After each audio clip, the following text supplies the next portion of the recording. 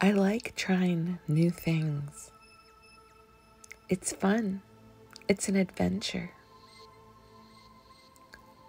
Today in pottery class, I experimented with shaving cream and underglaze to make marbled designs on my pottery. This isn't something I invented. Marianne at the pottery studio brought in the shaving cream and she talked about seeing the technique online.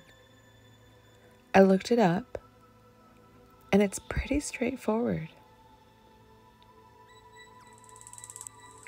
You spread the shaving cream on a surface, drizzle underglaze on it, swirl the underglaze with a tool, any pointy thing, then roll your bisque fired pottery onto it.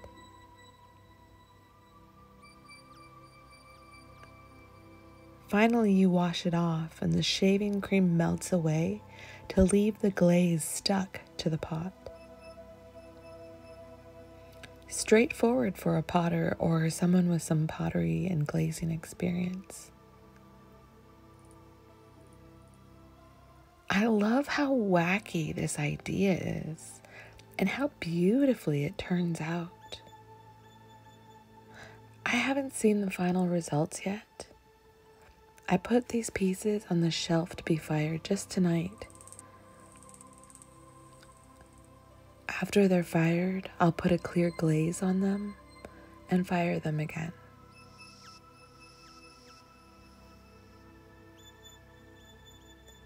This was an interesting experiment, and I'm glad I tried it. I try to be open to new experiences, and I like to dive into the unknowns, but within the scope of my calculated risks.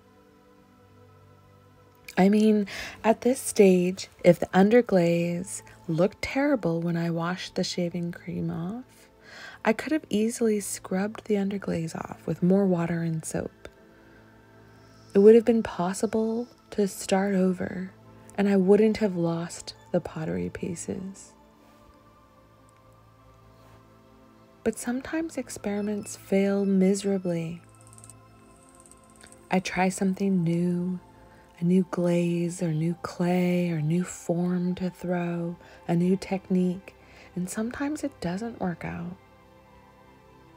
Sometimes I learn that new thing just isn't for me. Sometimes my pottery is destroyed by the experiment. It may break or look like complete shit after the firing.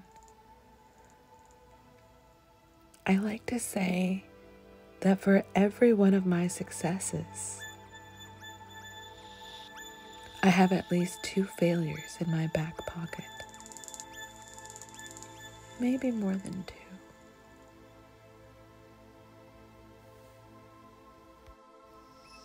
But it's those successes that keep me going.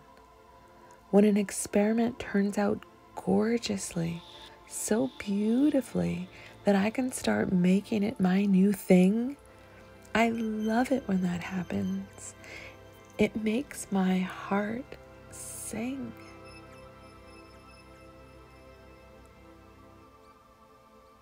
Experimenting can be scary the unknowns and all. But I guess I'm a really brave person. I'm lucky, in a way, to have that kind of gumption.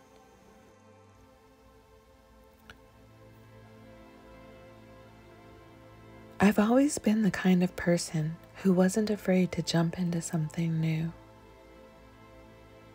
I think if someone asked me to teach them how to adopt this way of being, I would tell them to start one step at a time.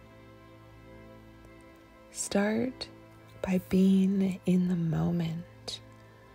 Be really present. Be here right now, all of your thoughts. The possibilities are exciting when you're experimenting but I've found the most success by focusing on the present moment and what I'm actually doing. Be here. Think about now.